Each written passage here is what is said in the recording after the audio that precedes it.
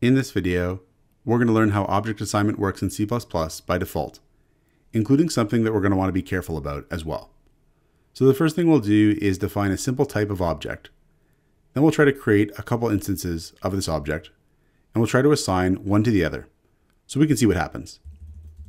So we'll actually call our class simple, and our simple objects are going to have a single public member variable that's going to be an int called x. Now we'll try to create some simple objects. So we'll say simple, simple a, and we'll set simple a's x member variable to 4. We'll also make a simple object called simple b, and we'll set simple b's x member variable to 0. So what happens now if we assign simple a to simple b? Like this. Simple b is equal to simple a. Will they have the same x member variable value? Let's try to see.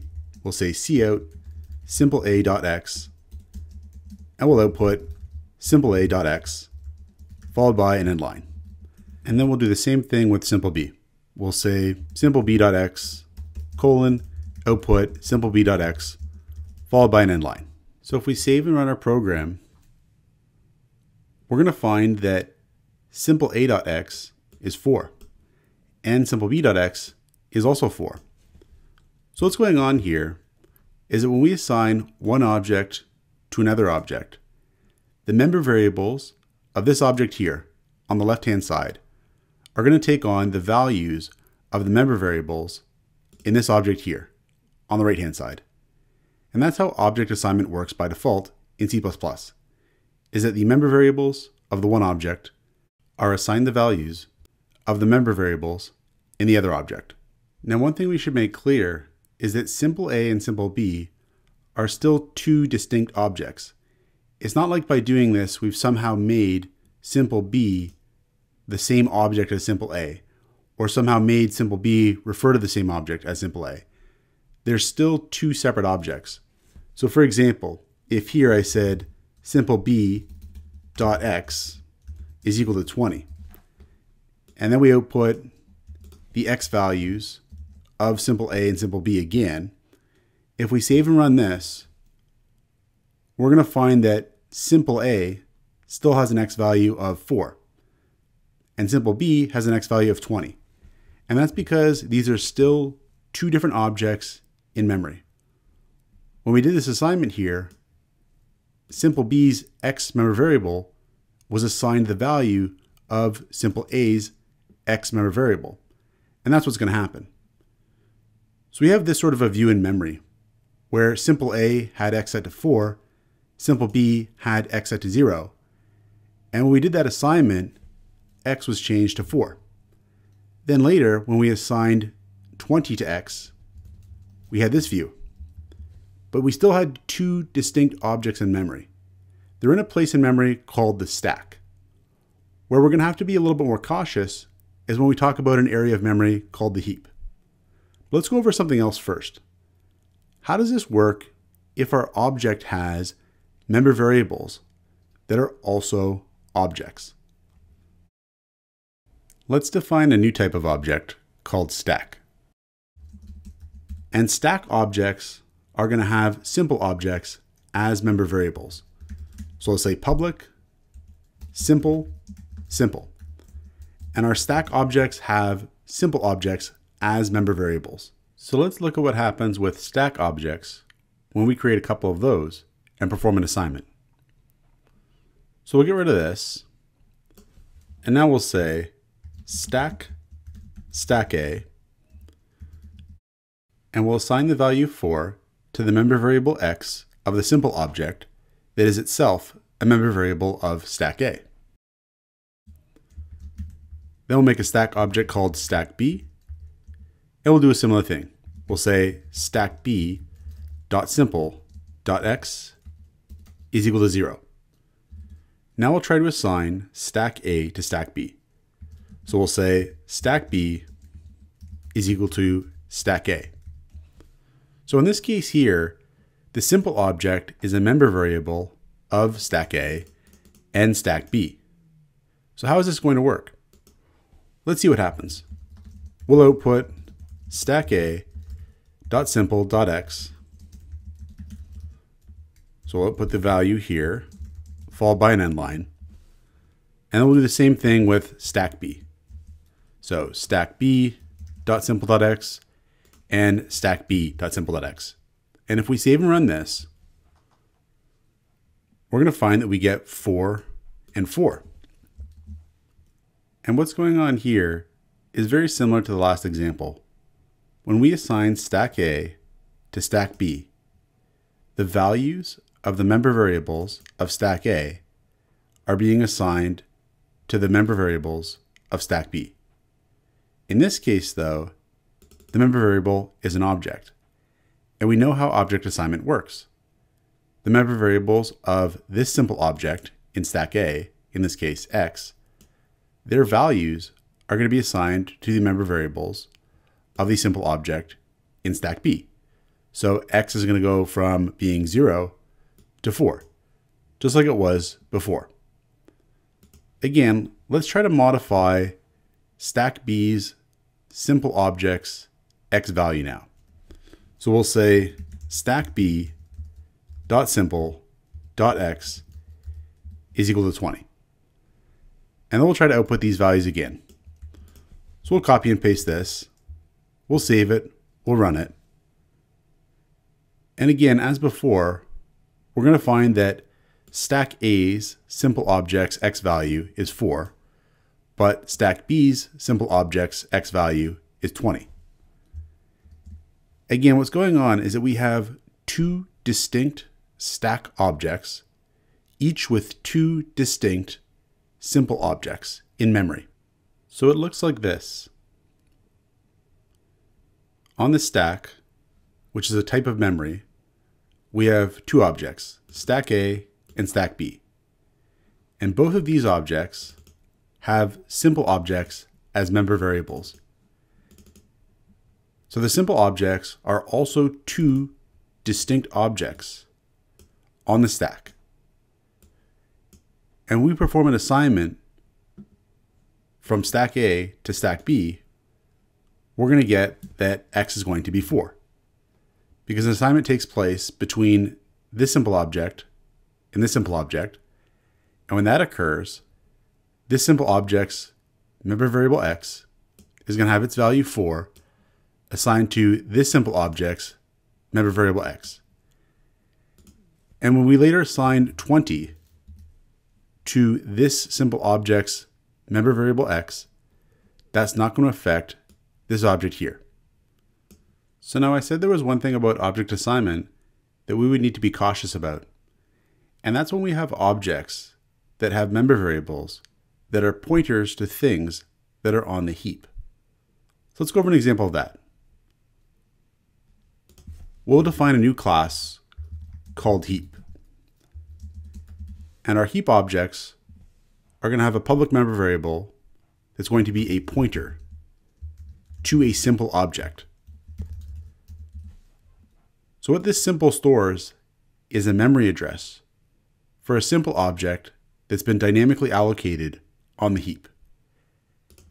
And in the constructor for our heap objects, we're going to actually create this simple object by saying simple is equal to new simple, and then simple x is equal to set x. So let's see what happens when we create some heap objects and perform an assignment with those.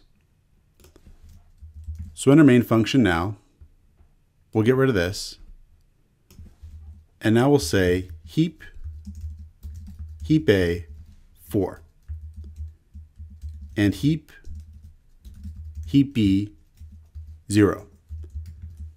So this will create two heap objects, heap A and heap B.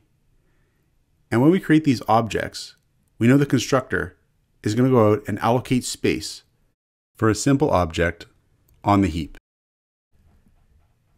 That's what this new does. New simple is going to go out and allocate space for a new simple object on the heap.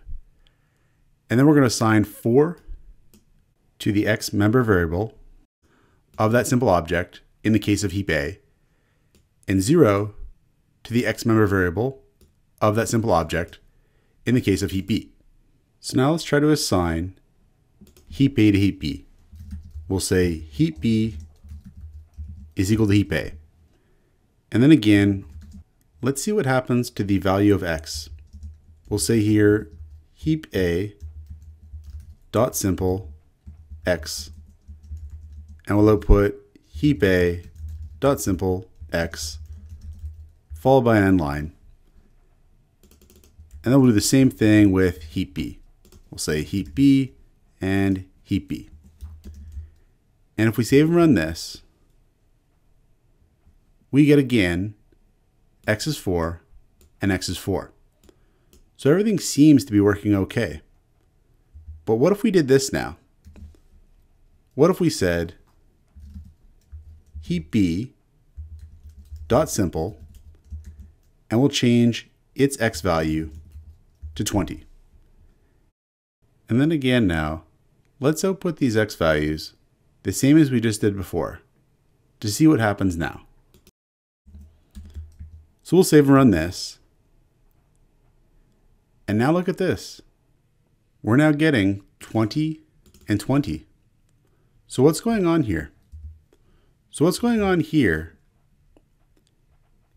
is that our heap object has a pointer to a simple object. The member variable simple stores a memory address of a simple object.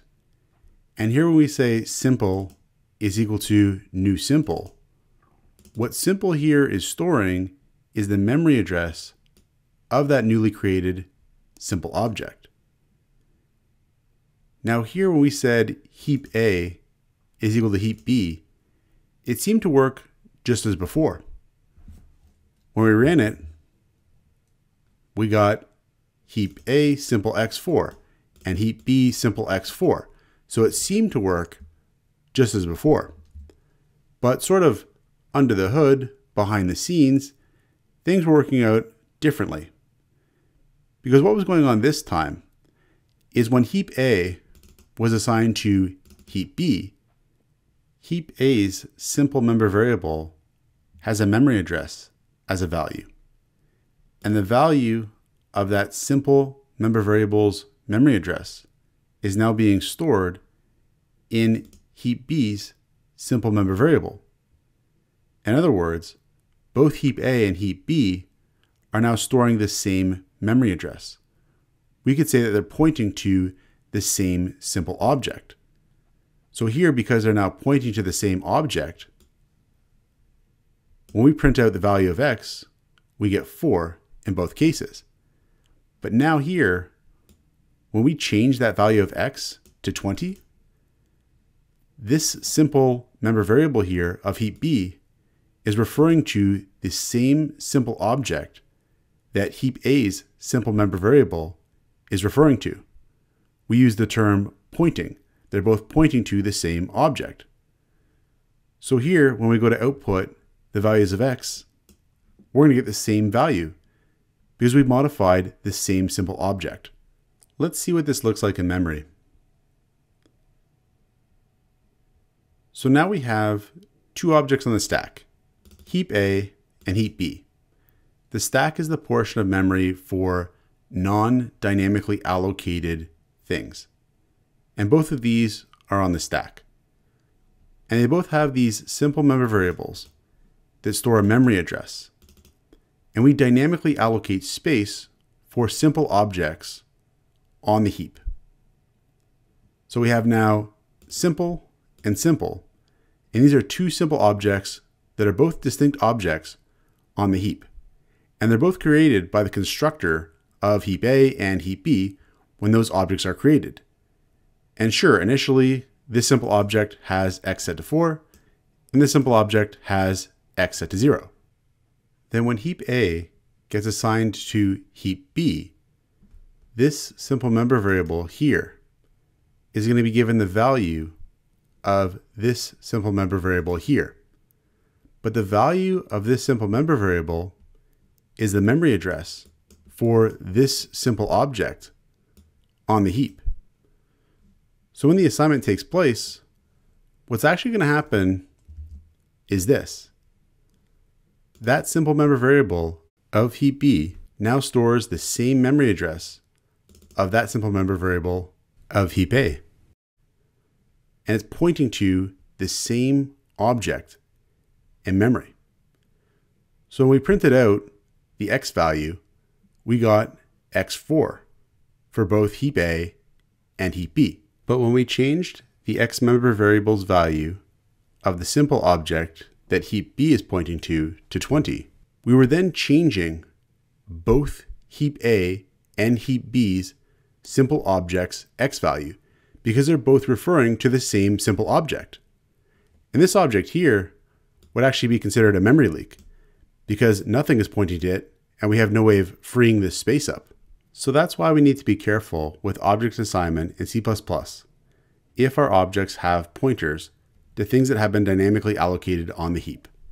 They could end up pointing to the same things on the heap, and we might not want that. What happens here is what's called a shallow copy of the objects. You might see that term used. So this is how object assignment works by default in C++. Check out portfoliocourses.com, where we'll help you build a portfolio that will impress employers.